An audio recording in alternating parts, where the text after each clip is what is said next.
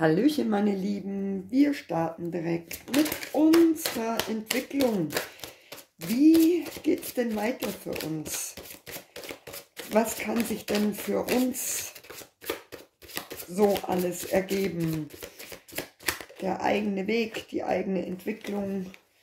Hm. Wie werden wir uns immer bewusster? Was dürfen wir lernen in der Schule des Lebens? So. Ich soll es heute jetzt mal anders machen. Das ist ja spannend. Okay. Lauter neue Sachen heute. Ungewöhnlich, ungewöhnlich, ungewöhnlich. Heute ist offensichtlich Durcheinandertag in der geistigen Welt oder Neues Tag. Zeit für Neues oder da kommen jetzt die Karten vom Golden Wheel Tarot.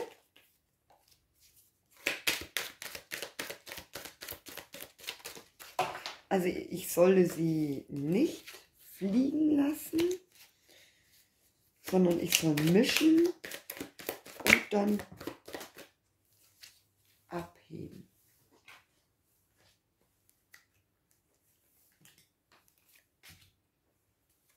So, unser Stern, der uns den Weg zeigt, der sich für uns für die nächsten vier bis sechs Wochen ergeben könnte, sofern wir offen dafür sind. Es ist natürlich immer so die Entscheidung, was machst du draus? Wie bist du offen dafür? Wie lässt du es zu? Oder wie verneinst du etwas? So. Das ist mal ein Start.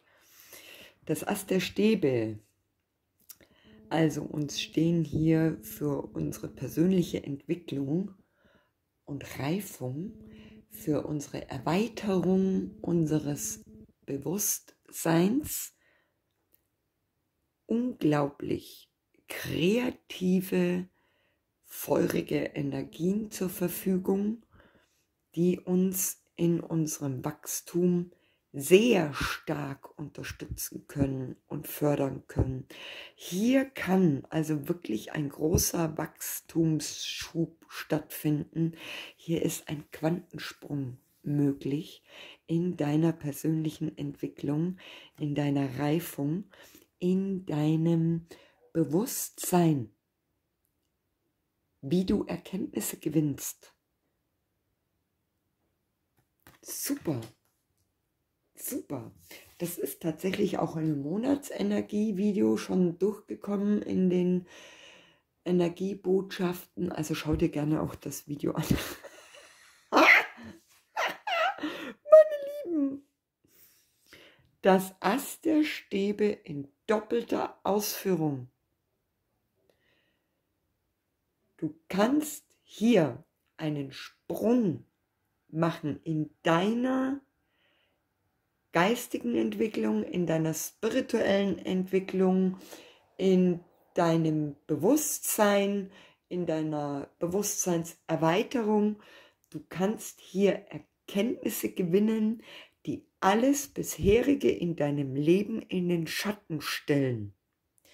Man könnte auch sagen, wirklich, du kannst hier einen ultimativen Quantensprung machen, der so in diesem Ausmaß, in dieser Ausprägung, in dieser Intensität in deinem Leben vielleicht nie wieder stattfindet. Das kann eine einmalige Geschichte sein, aber es kann das Highlight schlechthin sein. Wahnsinn, Wahnsinn, Wahnsinn. Völlig irre.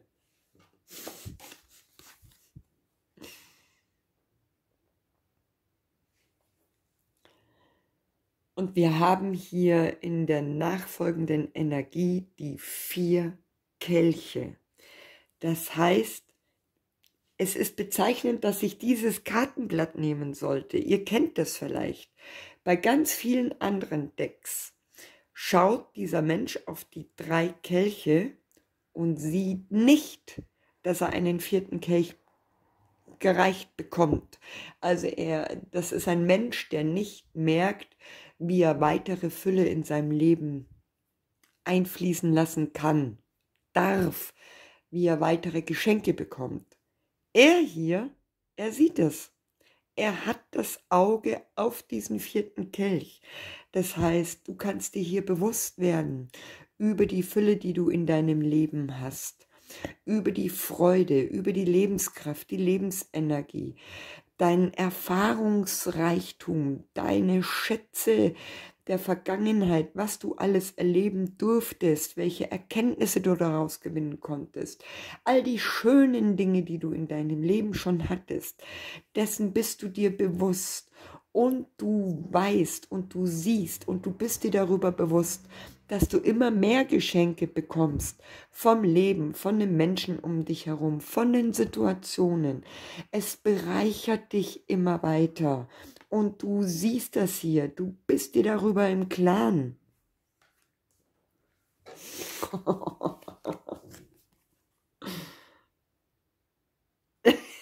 das gibt's doch nicht. Das gibt's doch nicht.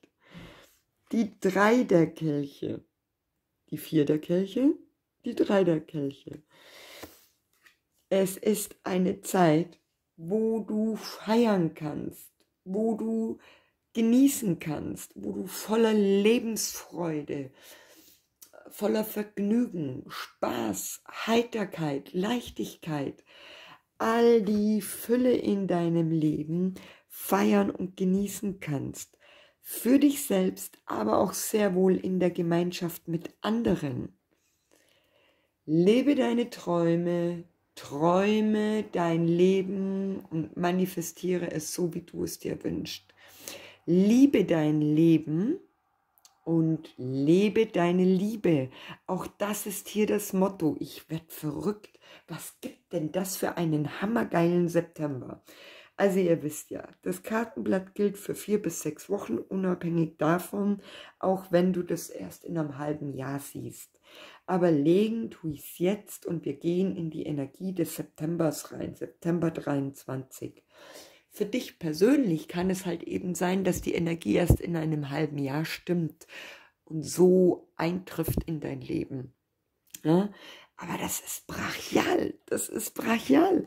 Leute, der September, das wird der höchst spirituellste, lebensbejahendste, lebendigste, wachstumsreichste, kreativste Monat überhaupt, wo am meisten möglich ist. Alles ist möglich. Es ist alles möglich im September. Jawohl, und hier kommt der Narr. Auch den haben wir in der Monatsbotschaft mit drin. Leichtigkeit. Es darf alles leicht gehen. Egal wie es im Außen scheint, dass etwas schwer ist, zäh ist, es darf mit Leichtigkeit gehen. Du darfst es mit Leichtigkeit bewältigen, mit einer gewissen spielerischen Art, wie ein Kind, unbedarft, voller Heiterkeit.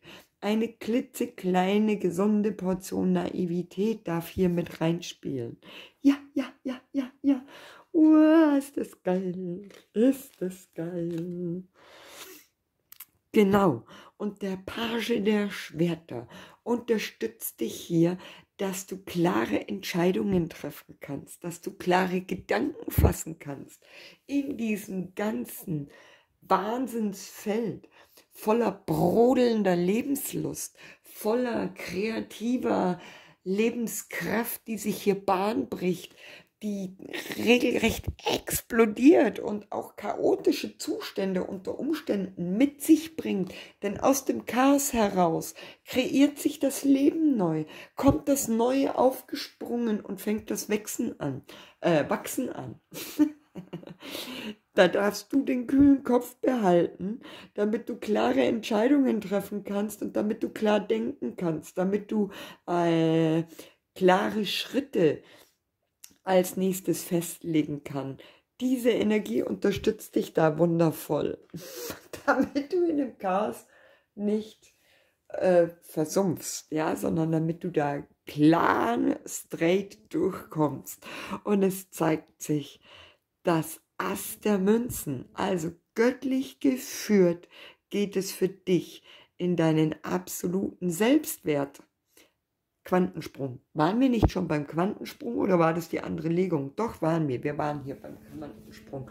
Also alle Legungen ähm, sind eigentlich übergreifend dieses Mal stimmig, stimmig, stimmig. Du kannst dir genauso gut die Liebeslegung anschauen, wenn du möchtest.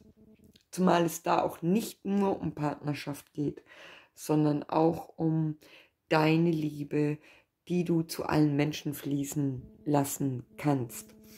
Also, du hast hier den Hirsch. Das Geweih des Hirsches ist nach oben geöffnet, weil er damit jederzeit die göttliche Energie des gesamten Universums, das Licht aufnehmen kann wie in einer großen Schale und in sich hineinfließen lassen kann. Du hast hier die Chance auf das größtmögliche Wachstum, in deinen absoluten Selbstwert zu kommen, zu erkennen, wie wertvoll du bist, was für ein wunderbarer Seelendiamant du bist, wie einmalig du bist, wie du die Menschheit und alle anderen um dich herum bereicherst und beschenkst mit deinem Sein. Und du darfst erkennen, dass es tatsächlich auch reicht, wenn du bist. Du darfst ins pure Sein gehen. Du kommst raus aus dem Konzept, dass du Leistung bringen musst. Du kommst raus aus dem Konzept, dass du irgendwas tun musst, damit du anderen gefällst oder damit andere dich mögen.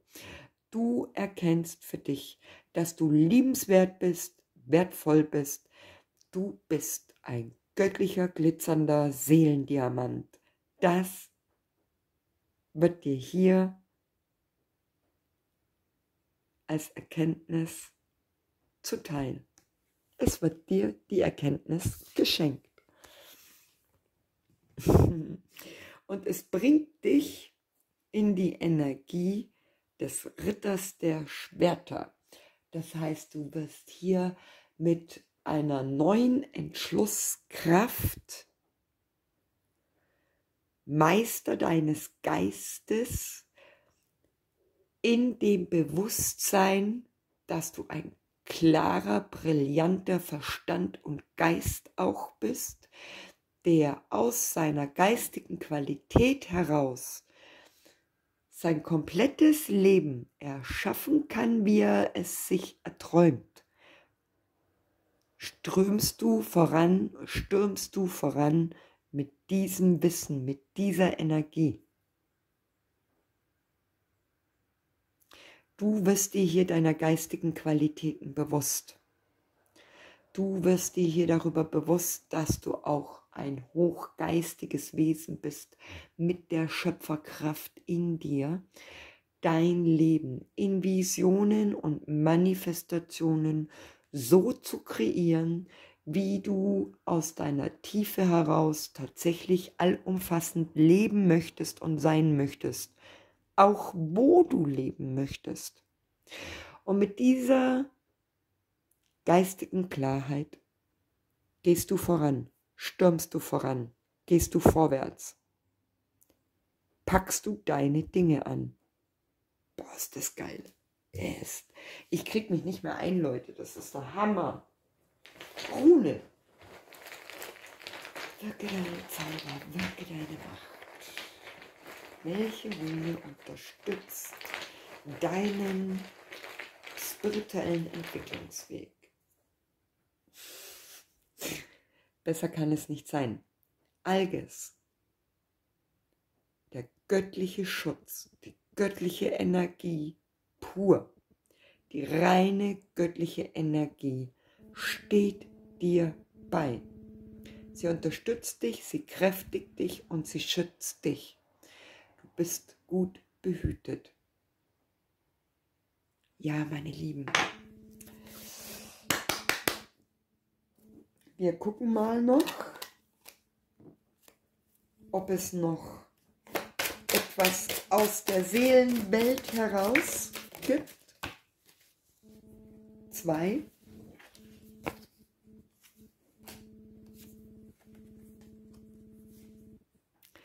Beziehung, Verschwörung, nach Hause kommen, Gnade. Ich habe das jetzt hier schon gesagt. Ich habe das auch in den ähm, Monatsvideo, Monatsenergien ist es drin und in der Liebeslegung auch. Alle toxischen Beziehungen, alle destruktiven Beziehungen, alle negativen Beziehungen und Verbindungen, egal welcher Art zu anderen Menschen, werden jetzt aufgelöst, dürfen von dir losgelassen werden. Lass sie gehen, lass sie ziehen. Halte nicht fest, kämpfe nicht darum, bettel nicht. Alles, was sich da jetzt zeigt, darf gehen. Diese Karte gehört den Verschwörungen an. Da geht es darum, dass wir uns selber innerlich manchmal Verschwörungstheorien aufbauen über unseren Ego-Verstand. Das ist das falsche Denken, dass man glaubt, eine bestimmte Beziehung unbedingt zu brauchen, einen bestimmten Menschen unbedingt in seinem Leben haben zu müssen, weil man anders nicht klarkommt, nicht glücklich sein kann und so weiter und so fort. Auch das darf sich jetzt hier auflösen in diesem Quantensprung. Lass es zu.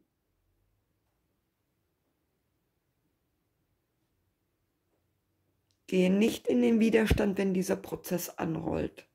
Lass es zu. Gebe dich dem Prozess hin. Und das Geschenk, die Gnade ist, dass du ein Gefühl in dir finden wirst, nach Hause zu kommen. Ankommen. In dir selbst. Bei dir selbst.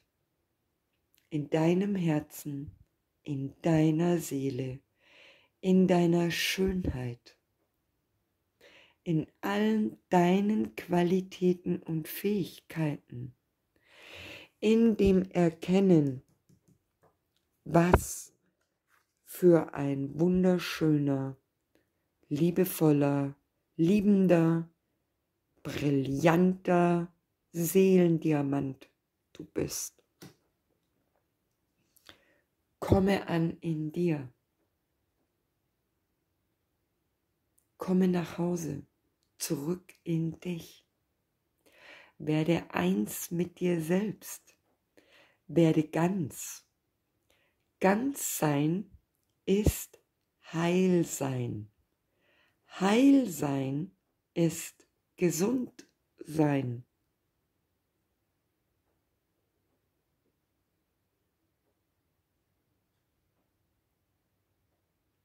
Mehr gibt es nicht zu sagen, meine wundervollen Seelen.